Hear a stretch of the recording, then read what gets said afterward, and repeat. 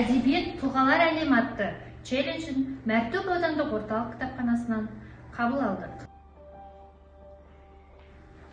Биыл республикалық бір ел бір кітап акциясы аясында қазақ әдебиетіне өзгеше өрнек ғажайып сыр сипат алып келген көрнекті жазушы бердібек соқпақбаев шығармашылығы таңдалып алынды. Сөз өнерінің маржанын терген соқпақбаев еңбегі жетерлік. Біз бүгін керегін теріп айтамыз. Балалар әдебиетін алып бәйтерек десек оған нәрбеп құнарландырып тұрған күретамыр бердібек соқпақбаев деуге негіз бар. Жазушы шығармаларында өзі өмір сүрген заманның шынайы келбетін суреттеді. Қаламгердің ауыр тағдырын бірі білсе бірі білмес. Расында тағдыр соқпақбаевты талай талай соқпаққа түсірді. Оның өмірі қазақ даласындағы ашаршылық жылдарымен тұспа тұс келді. Жетімдіктің зардабын көп көрді. Әкесі қарапайым малшы болған. Оқымаған болса да ауыз әдебиеті үлгілерін көп білген дейді балаларының анасы көз алдында дүние салған. Ол кезде бердібек небәрі сегіз жаста еді. Бұғанасы қата қоймаған ол бала күнінен ауыр еңбекке жегілген. Иә шешесінен жетім қалған жазушы естелігінде колхоздастырудың алғашқы кезінде өте қиын болды. Осы күннің өзінде жүрегім қарс айырыла жаздайды.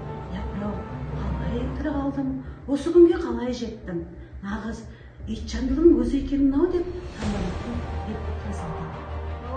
саяхат қайтып менің атым қожа шығармалары жазушының шоқтығы биік туындылары. Балалық шаққа саяхат повесінде жазушының анасының ұзақ ауырып қайтыс болғаны інісі тұрдыбек емшекте қалып жылап қалғаны сонымен қатар бір уыс нанға зар болып күн кешкені бейнеленген. Соқпақбаев туындыларының жолы ауыр болды. Менің атым қожа повесі алматыда үлкен сынға ұшырады. Бірақ бұл повесті жақтап шығатын жан баласы табылмады. Соқпақбаев өзінің естелігінде повестің тұсауы мәскеуге түскендігін айтады. Және оның қиын басылғанын ол қандай балдарға қандай тәрбие береді деп та көзін алай қаратқандар көп болғандығын айтқан. Кино түсірілді. Оның тұсауын мәскеу ашып берді. мың тоғыз жүз алпыс екінші жылы кан фестивалінде бас бәйгені жеңіп алдық дейді. Жазған туындыларының біраз жері кесілді. Бердібек соқпақбаевтың көптеген жауһарларды дүниеге әкелген. Бірақ ол кезде бағаланбады. Соқпақбаев қандай адам еді? деген сұраққа замандастары не дейді?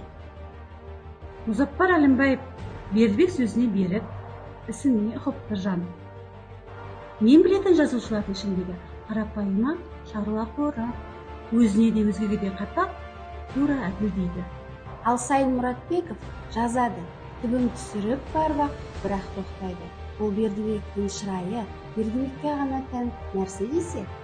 Ал баққожа мұқаев еңбегінің бұлдап бұлданғандарын естіген емеспіз көзі тірісінде қиянат көріп қан жұтқан үлкен дарындар қазақстанда аз болмады десе соның бірі бердібек еді. Биыл кемел талант иесінің туғанына жүз жыл толады. Ғасырлар өтсе де оның жарқын бейнесі мен өміршең туындылары ешқашан ұмытылмайды. Себебі бердібек халық жүрегінде.